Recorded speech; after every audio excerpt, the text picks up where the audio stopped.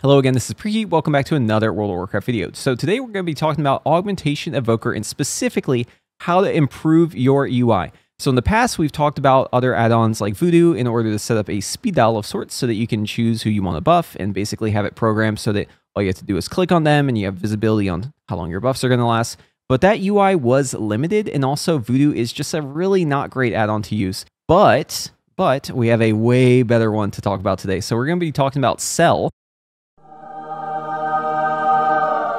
And Cell is a really awesome new UI you can use for your raid frames, your party frames, your player frames. Um, they've even got like frames for your target and your focus and stuff like that. But specifically, what we're going to discuss today is the Spotlight feature in Cell. Now, as you probably know, as Augmentation Evoker, it is super important that you get the buffs on the right people at the right time because that is how a lot of your damage comes back to you, right? So for a lot of players, having a good UI for this can make a, world of a difference. Making sure you have the right targets for Ebon Might is really important for maximizing your damage as augmentation. When it comes to tech corporations monitoring your internet activity or bad actors trying to steal your data, it's kind of the same deal. That's why this video is sponsored by Surfshark. Now, I mainly use Surfshark as a VPN, but they have a lot of other tools to help keep you secure online. Stuff like antivirus, private search, DDoS protection, and alerts for all those pesky data leaks that seem to be so common these days. You can also use a VPN for other things that don't have to do with security, like getting around the region lock for certain shows. I've been using Surfshark to browse the anime catalog for Japan for Netflix, and uh, it's pretty great. Surfshark comes with a 30-day money-back guarantee, so don't hesitate to try it out. Go to surfshark.com slash preheat or click the link in the description below for four extra months as well. Now let's get back to the video. Getting Cell is the same as really any add-on, right? Just go over to whatever your favorite add-on website is. So I'm using CurseForge here, and then head over to the search bar and type in Cell, just like so. And then make sure that you click to either download this and do this manually or use the add-on to install it. So once you're in game, just make sure that you have Cell enabled. Go over to your add-ons and make sure that this is checked if it isn't already on. And then you're just going to type slash cell space OPT and that's going to bring up the cell UI here. So the first step we need to take is to import whatever the base UI that you want to get is. Uh, you can use mine from the GitHub link down below. It will be also in the video description and also the pinned comment. Or you can pull one from Wago, but you're going to click the About tab. And then here at the bottom, you have the import and export buttons. So we're going to want to click this import button, and that gives us a box where we can paste in a string. So getting a profile for Cell is very easy. All you have to do is go to wago.io. So if you mouse over World of Warcraft and then click more imports, it's going to bring you to this page right here where you can have other imports as well. So you're going to click on Cell and then you're going to click on augmentation. So Zephyrus actually has a really fantastic profile for augmentation. I'm not using his, but if you want to, this is a great one to use. All you have to do is click on the cell profile right here and then click copy import string. That's going to put the string in your clipboard. Alternatively, you could just go into the video description for this video and then click on the GitHub link that's labeled cell profile, and that will get you the one that I'm working on here today. Anyways, once you've pasted in the string here, you're just going to want to click import in the top right, and then it's going to ask you what sort of settings you want to override. And make sure that if you're changing your current cell setup and you like your current cell setup, that you back it up first, right? That's done with the bottom right button here. Anyways, once we've done that and we've done a slash reload or slash reload UI, what you're going to want to do is open up Cell again and then click on the Layouts tab. And then you're going to see a button over here for Preview. And we're going to click this twice so that we can preview how our RAID setup would look like. Also, make sure that you have the Spotlight tab, Enable Spotlight Frame checked. Very important. That's going to give you the speed dial of sorts, the Spotlight frames that we're going to be using to target specifically the people that we want to buff. So make sure that's checked and then take note of the little green boxes here. So you can see it here and you can see it over here on my other RAID frame grabbing and dragging the little green box is how you move this stuff around. And it's going to be really important that we take note of where this little green box is for the spotlight frames because we're not always going to see this box. It's only going to show up if you put your mouse over it. So just take note of that. Now, once we've set this all up just like so, all we have to do is click on the little green box and that brings up this menu right here. And as you can see, they all say none. So the way that you program this uh, there's a couple different ways, but one way is you can click and drag it onto a unit in your raid and it will just show whoever is in that position. So here it would be me. But a better way to do this is actually to hold shift on your keyboard and then click and drag. And this will actually use the unit's name.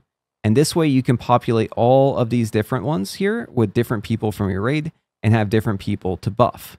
That is going to be how you assign your uh, spotlight frames. And that way you can have it set up so that those are the people that you're buffing And obviously, you know, you can fill in the rest of them, but just make sure that the one you fill out first is the top one that's directly underneath the little square. That way, if you close it, you'll be able to find it again because finding this little square is kind of hard if you don't have a point of reference. So just take my advice, put your first person up here in the top right.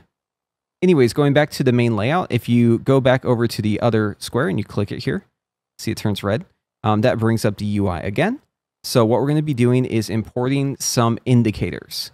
So if you click here on the indicator tab, this is where you can configure this however the way you want it. Once you're on the indicators tab, make sure that you choose the correct layout from the dropdown. So I'm choosing the Augie one here because that's the one I'm using for augmentation.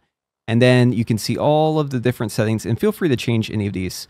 Um, but, uh, you know, I've already got some presets kind of for you already.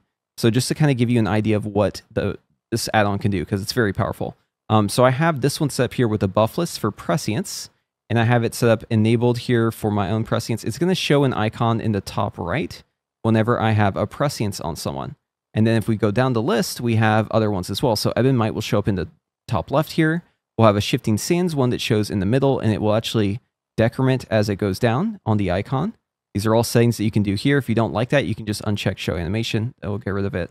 Um, and then also if we go down, we have a prescience overlay. So this is actually how I track how long my prescience lasts. I do have an icon that shows it, but then the color on top is going to be changing that. If you want to change the color, it's going to be right here. You just click the little color box and then you can modify it however you want to change the opacity.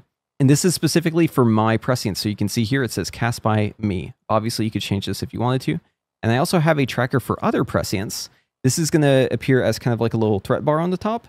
And uh, this will just show how long the prescience of other people is on that target. It can be really nice to track other people's prescience because then you know who to buff because as an augmentation Evoker, generally you want to buff the same targets. And if you're buffing different targets, maybe you want to coordinate who you're buffing so that you can both benefit from that force multiplication. So if you're missing these options under the indicators, or you just want to work with the current cell profile that you have set up, you can add these very easily. All you have to do is click in the bottom left where it says import, and then you need to paste in the string that's called cell indicators from the video description. And that will show you over here on the left all of the different indicators. You should have five here if you did it right. And then all you have to do is click import and then make sure that you click yes on this menu. If you're looking to create your own overlay, all you have to do is click the create button and that's going to give you this little box here where you can give it a name. So we're going to call this one example. And then this little drop down right here is where the magic happens. So this is where you can choose what kind of indicator it's going to be. And obviously there's a lot of choices here, but you've got like icons, bars, overlay. That's the one where it's the entire color over the whole thing. Uh, text, glow, border, texture, etc. And then once you've done that, you can specify if it's a buff or debuff. And once you click yes, you're going to have the example right here. And then you just need to give it the spell ID for the buff that you're looking to track. So just for reference, Prescience's spell ID is 410089. Ebon Might's is 395152. Shifting Sands is 413984. Just giving you those so that you can have them very easily. But if you need to find other ones, you can just look those up on Wowhead. Once you've given it the list of buffs here, you can configure the other settings and make it look exactly the way you want it. And there are a lot of settings in here. I'm not going to cover all of them, but just know that if you're confused about how to set this up, um, you can find help in my Discord in the UI setup help channel. It always helps if you provide a screenshot and a clear description of what you're trying to achieve. So anyways, once we have those set up, we're going to head back over to the layouts tab right here. Obviously, it's nice to have the preview on as well. Keep in mind that the settings here are per layout and there is a drop down up here at the top for which layout you're working on. So if you notice that something looks off, you're probably on the default. Just make sure that you choose the correct one here. That way you see the frames that you're looking for. And then over here on the right, we can actually specify when these show up. Okay, so as you can see, I'm augmentation. I currently have it set up to layout auto switch. So it's going to automatically change if I'm augmentation. Solo is going to be Augie, and then for raid, outdoor, raid instance, raid mythic, I have these all set to Augie as well. That way it'll be forcing it into the correct profile whenever I do that content and I'm playing augmentation versus if I'm playing devastation. Okay, so that is step one complete. So let's go ahead and talk about how we set this up so it's easier for you to buff those targets. So if we click the click casting tab at the very top here, click here where it says use separate profile for each spec. This way we only have the click casting for augmentation. Okay, the other frames will work normally. Uh, you'll know it's working because it says current profile augmentation. And what you're going to do is right here in the middle, it says left general target. We're going to change general to spell, and then we're going to choose prescience. Once you've done that, make sure you click save. That commits it. And then now if I click on myself, notice how I give myself prescience here. This is really nice because now I have a one click prescience, so I don't have to do anything special. If I want to buff a person on my frame with prescience, all I have to do is click on them and it will give them that buff. And then you'll see it here. The timer is going to slowly go down. Okay, so now we have it set up so we have these awesome user-friendly spotlights so we can easily click uh, whoever it is that we want to buff with our prescience. But how do we know if their cooldowns are up or not? Well, that ties into the next part of this. So the next step of this is we need to make sure we have an add-on called Omni CD in, installed here. So I'm just going to go and search for Omni CD, not to be confused with Omni CC. That is a different add-on. We're going to click Omni CD as in Delta, Party Cooldown Tracker, and make sure that we have this installed. After that, it's the same thing as before. Just make sure that you have it enabled here, and then we're going to type out slash Omni CD, and that will bring up this menu here. Make sure first, whenever you go into Omni CD, that you choose Outdoor Zones, Enable, and then you copy it from the raid. That way we can see how the raid frames are going to look uh, whenever we're outdoors, because we're not in a raid. Normally, it would only show up in a raid unless we have this checked. After that, we're going to go over to raids, make sure this is enabled, and then we're going to make sure that we see the buffs that we're tracking. And then we're going to need to make sure that we're tracking the right buffs. So go ahead and click spells over here.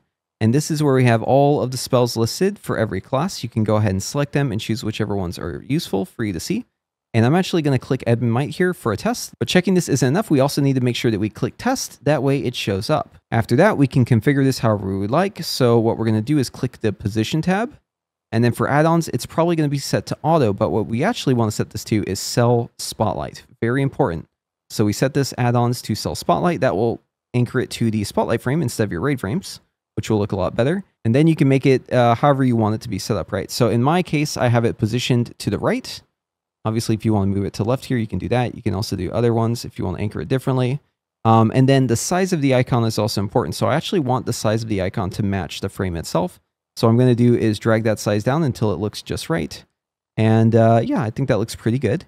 And then we're going to click highlighting. Make sure you enable highlighting and then under highlight icons, make sure you click the enable right here, and then you can choose the type. I actually like the strong yellow glow.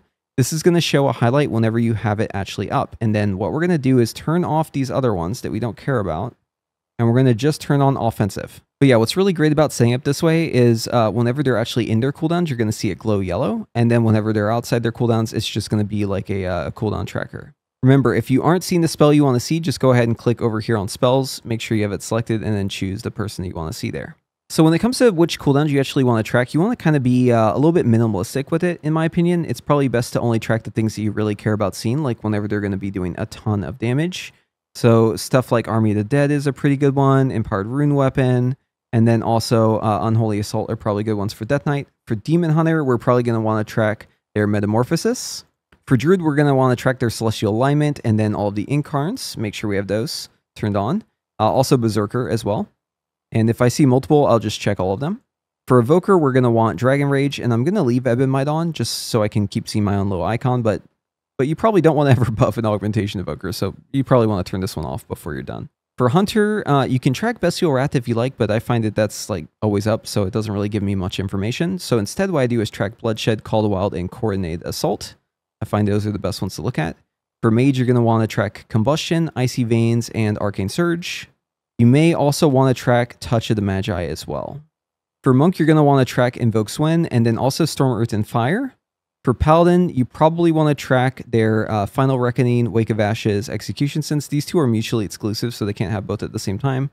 Uh, you can also do like Crusader and Avenging Wrath just in case they're spec into those, instead of having it auto fire with the uh, Wake of Ashes. For Priest, I track Power Infusion and Void Eruption. For Rogue, I just track Death's Mark, Kingsbane Shadowblades. Uh, I think you can also probably do Adrenaline Rush, but uh, that's up to you. For Shaman, just make sure that you're tracking their Ascendants. The Feral Spirits are almost always up, so that one, I'm not really sure if that's a good one to track. Uh, you can also do the Fire Elemental as well. For Warlock, I'm honestly not really sure what to track, but I just track their demons, so like Call the Fel Lord, and then also the Darkglare, Demonic Tyrant, Infernal Vile Fiend. You can also turn on Dimensional Rift as well. And for Warrior, I just track Avatar, Champion Spear, Recklessness. Um, and obviously, if you want to change these right, you don't have to go with whatever I'm giving you. This is just an example. One last note, if you notice that the number isn't displaying for how long they have on their cooldown, just make sure that you go over the icons and then under miscellaneous, turn on show numbers for cooldowns. That way you can actually see that. So if we have it set properly, if I use my Ebon Might, you should see it glow just like so. See that? Now this glow will persist while the buff is active, and then you'll see right as it ends, it does have a timer left on it. That way I can see how long they have until their buff. Once you're happy with how it looks, go ahead and disable Ebon Might and then turn off test mode. And with that done, uh, people's cooldowns will just show up over here on the right, which is really nice because that way you can see how long they have left on cooldown. All right, so to show it in action, all you have to do is click the little square to uh, turn this thing on, and then you can right click to remove people. If you want to add people, hold down shift and click and drag it. It's the best way to do that. And you can populate them in, and then you'll see the Omni CD cooldown showing up on the right as I add people. Once you're done, click the little square again, and that will close this menu. And just keep in mind, you can only do this outside of combat. So uh, yeah, you can drag it around in combat, but you cannot uh, change who your presets are while you're in combat. You have to wait until the pull is over. Uh, but yeah, you have this really awesome new UI. It's super customizable. You can find other, you know, versions on Wago if you want to download other people's profiles. But uh, that's really going to be it for today. So hopefully you enjoy this UI as much as I have. And as always, thank you all for watching, and we'll see you in the next one.